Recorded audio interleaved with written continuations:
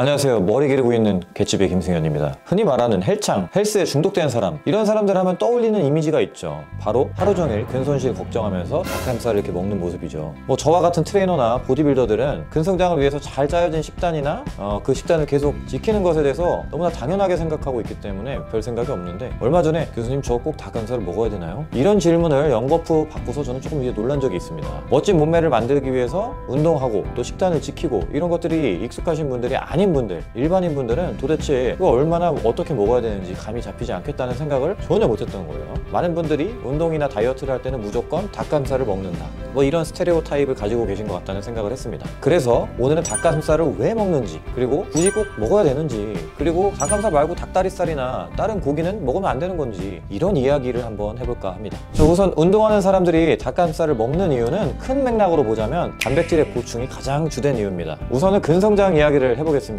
근육 성장의 원리는 너무나 간단해요. 체내에 저장되어 있는 영양소를 바탕으로 근섬유에 미세한 손상을 입히기 위한 근력 운동을 실행을 합니다. 그리고 나서 체내에 고갈된 영양소를 다시 보충하고 이를 바탕으로 손상된 근섬유를 회복시키게 되죠. 이러한 일련의 과정을 오랜 시간 반복을 하면서 근성장이 일어나는 것이죠. 보통은 운동 직후의 기회창이라고 해서 1시간 이내에 바로 단백질을 섭취해야 뭐 근성장이 휘발적으로 일어난다. 이런 주장이 있습니다. 최근에는 이러한 기회창 이론은 여러 연구를 통해서 반박이 많이 되어가고 있는 분위기입니다. 제 개인적으로도 섭취 타이밍보다는 얼만큼의 영양분을 얼마나 규칙적으로 섭취를 하느냐가 더 중요하다고 생각을 하기 때문에 운동 직후에 기회창이다라 그래서 막 바로 닭가슴살을 먹고 보충제를 먹는 이런 거에 대한 결론을 따로 일단은 내리지는 않겠습니다. 오늘 영상 주제는 엄연히 닭가슴살을 왜 먹느냐니까 다시 이제 본론으로 넘어와서 현재까지 연구된 많은 자료들을 볼 때 근성장을 위해서는 약 20에서 30g의 단백질을 기억하세요. 3시간 간격으로 규칙적으로 섭취하는 것이 최적이다 라는 것이 정 설로 받아들여지고 있습니다. 저 역시도 그렇게 하고 있고요. 그러니까 수많은 쇠질러들이 닭가슴살 도시락을 굳이 싸들고 다니면서 시도 때도 없이 뭐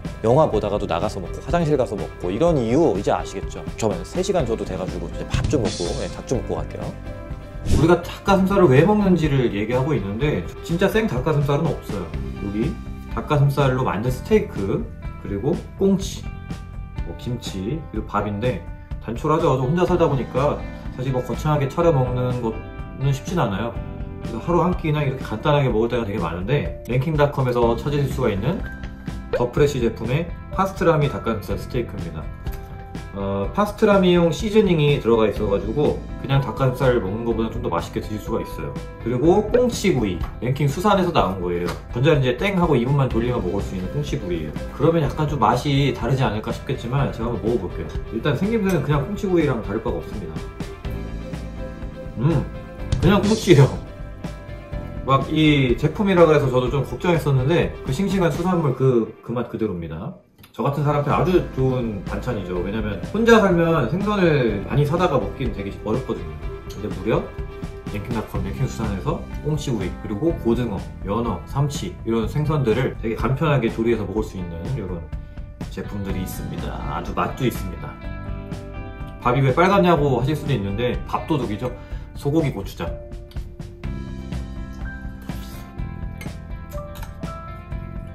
음, 그냥 닭가슴살만 먹으면 심심한데 이렇게 시즈닝 양념이 들어가 있는 제품이다 보니까 조금 더 수월하게 먹을 수 있는 것 같습니다. 지금 근데 고추장 맛이 너무 강해가지고 파스트라미 향이 덜 나는 것 같은데 근데 이 고추장이 필요 없을 정도로 잘 들어가네요. 더 프레시 제품 같은 경우는 새우 닭가슴살이랑 오징어 닭가슴살이 있거든요.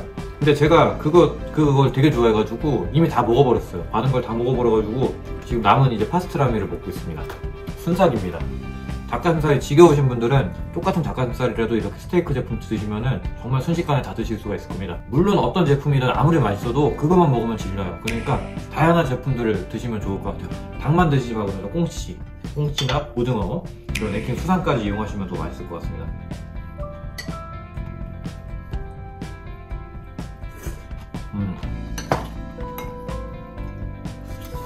네, 다시 돌아왔습니다. 닭가슴살 외에도 무궁이 많은 단백질원들이 있습니다. 그런데도 불구하고 굳이 단백질원으로 닭가슴살을 찾는 이유는 그 편의성과 가성비에 있습니다. 여기서 말하는 가성비는 단순한 가격 대비 품질을 들 수도 있겠지만 닭가슴살은 우리가 쉽게 구할 수 있는 육류 가운데에서도요 아, 지방 함량이 가장 적고 영양 구성에 제품별 편차가 크지 않은 그러면서 단백질이 풍부하고 칼로리 높지 않은 그런 대표적인 음식이기 때문입니다. 사실 닭가슴살이 편의점에서 구할 수 있을 정도로 이렇게나 쉽게, 쉽게 접할 수 있는 그런 제품 식품이 된 지는 별로 오래되지가 않았어요. 라떼는 말이에요. 편의점에서 닭가슴살을 구할 수도 없을 뿐더러 사실 닭가슴살 제품 자체가 많지 않았고 거의 없었습니다. 예전 어르신들은 닭가슴살을 따로 소량으로 구하기 어려워가지고 보통 달걀이나 우유를 많이 먹는 방식을 사용하셨다고 합니다. 그 정도로 단백질 보충이 쉽지 않았는데 그럼에도 불구하고 멋진 몸을 만들어셨던 그런 9세대 보디빌더들 정말 대단합니다. 어쨌든 어, 닭가슴살이 가장 많이 소비되는 이유가 가성비 때문이라는 말은 굳이 가성비를 따지지 않는 사람들은 뭐 다른 거 먹어도 된다는 말 아닐까 요?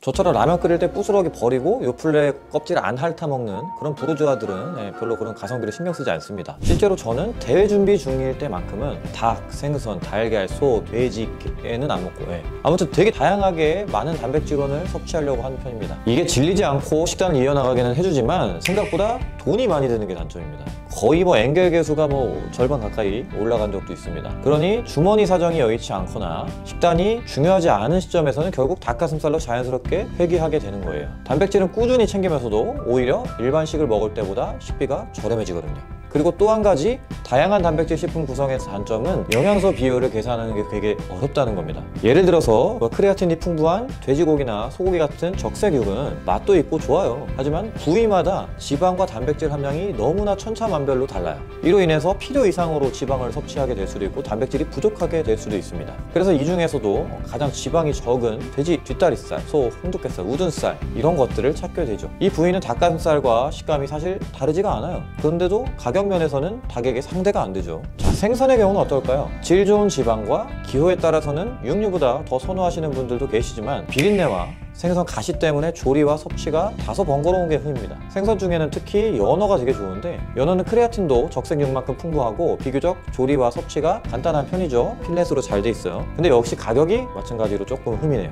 그러나 닭가슴살은 다른 음식과 비교했을 때 구하기가 쉽고 가격이 저렴하고 지방이 적고 단백질이 풍부하고 칼로리가 걱정 없고 게다가 요새는 매우 넓은 선택폭까지 가지고 있기 때문에 원픽 단백질 식품으로선 닭가슴살을 선택을 안 할 수가 없는 것 같아요. 요컨대 웬만한 헬스인들에게 닭가슴살은 가성비 쩌는 반찬 정도라고 생각을 하셔도 좋을 것 같습니다. 여러분들 김, 김치, 멸치, 참치 뭐 이런 거 밥이랑 드시잖아요. 저희는 닭가슴살을 그런 반찬으로 같이 먹습니다. 그것뿐이에요. 단백질을 보충할 수도 있고 특별히 나쁜 음식이 아니라면 어떤 단백질 식품이든 다 괜찮습니다. 여러분들 보시면서 꼭 닭가슴살을 먹어야겠다 하시는 분들도 계시겠지만 오히려 되게 다양하게 먹어야겠다는 생각이 드시면 좋을 것 같아요. 어쨌든 우리가 꾸준하게 식단을 이어가고 운동하는 게 중요하잖아요. 자, 왜 닭가슴살 먹는지 닭가슴살 말고 다른 거 먹으면 안 되는지 이제 좀 궁금증이 좀 풀리셨나요? 여러분들 오늘 영상도 재밌고 즐겁고 유익하셨다면 좋아요와 댓글, 알람 설정, 구독 부탁드리고요. 지금까지 개츠비였습니다. 또 봐요. 김승현이었습니다. 또 봐요.